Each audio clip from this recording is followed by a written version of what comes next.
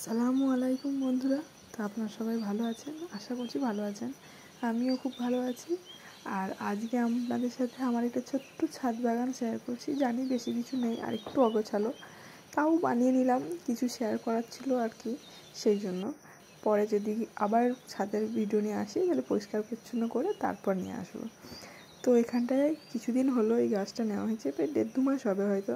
একটা লেবু ধরেছিল, সেটা পেরে নিয়েছিলাম, আবার নতুন ফুল এসছে। তো সব ফুল রাখব না, কিন্তু কিছু কটা রাখব মানে যেই কটা থাকতে চাইবে সেই কটাকে রাখব আর কি। আর তারপরে দেখা যাবে কত দূর কী হয়। আর সব তো থাকবেও না, ঝরেও যাবে। আর কিছু ড্রাগনের গাছ নিয়েছিলাম, ওই আগে দেখেছেন হয়তো আগের ভিডিওতে, তো সেইগুলো থেকেই কাটিং করে এই চারাগুলো বানিয়েছি। এগুলো এবছর মনে হয় না ফল পাবো, কিন্তু আবার পেতেও পারি, কারণ অনেক বছর পুরনো ডাল লাগিয়েছিলাম আমি। তো এগুলো সব নতুন ডাল বেরিয়েছে, এগুলো পুরনো গাছ আর কি। আর এই তিন মানে এখানকার জটাই ছোটো ছোটো চারা দেখছেন, সবই নতুন লাগানো। কিছুদিন হয়েছে হয়তো, এক দেড় মাসের মতন হয়েছে। এইদিকেও লাগিয়েছি যেগুলো, সেগুলো এখানেও ছোটো ছোটো ডাল বেরোতে লেগে গেছে আর এইদিকেও আছে। তো ইচ্ছা আছে ড্রাগনের একটু বড় করে, ভালো করে, সুন্দর করে, ছোট্ট একটা বাগান করার। জানি না কতদূর কী হবে, তো দেখি কি হয় কি না হয়। আর এইখানটাতেও অনেকগুলো ডাল বেরিয়েছে, কিন্তু সব ডালও রাখছি না। নিচের কিছু কিছু যে ডালগুলো এক্সট্রা আছে, সেগুলো ভেঙে দিয়েছি আগেই। আর এইখানে যেই গাছগুলো দিয়েছেন এইগুলো থেকেই ওই আগেকার ওই যে চারা দেখালাম, ওগুলো কাটিং করে নেওয়া। তো এগুলো তো এখানে থাকল, এটাও লাগিয়েছি। আর একটা বিষয় দেখাই আপনাদের সাথে শেয়ার করি। আগের দিন আমি নার্সারি গিয়েছিলাম, সেখান থেকে কিছু গাছ এনেছি। তো সেটা তো দেখাচ্ছি আপনাদেরকে। আর এইখানটায় যে গাছগুলো লাগিয়েছি সেগুলো তো দেখলেন। আর এই সাইডে আছে সেই গাছটা। এটা হচ্ছে আমার তিন বছর হয়ে গেল প্রায় দু আড়াই আড়াই তিন বছর হবে পুরনো গাছ। এই সাইডে মানে যেটা আর কি দুটো স্ট্রবেরি দেখছেন আপনারা, সেইটা। আর মানে পেকেছে দুটো মানে ধরে আছে অনেকগুলোই। আর এই যে প্যাকেটের মধ্যে আছে, এটা কিনে এনেছিলাম।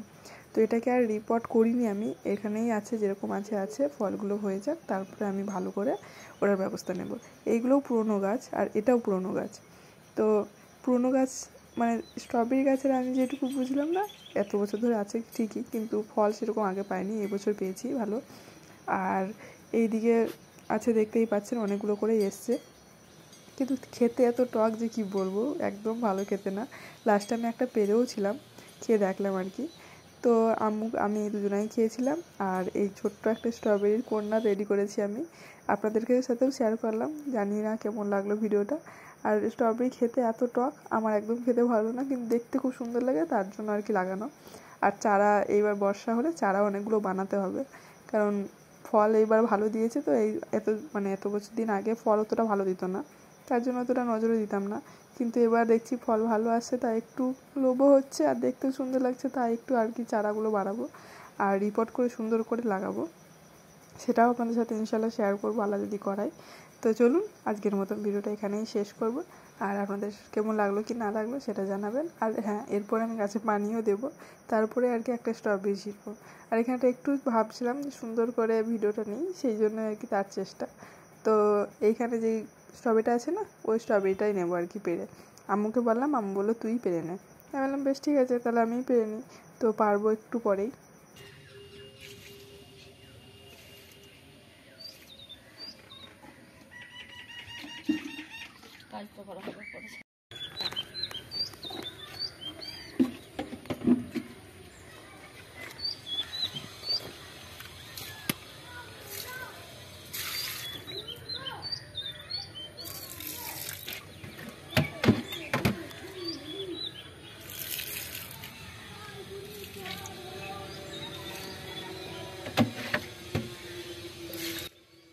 স্ট্রবেরিটা খাব।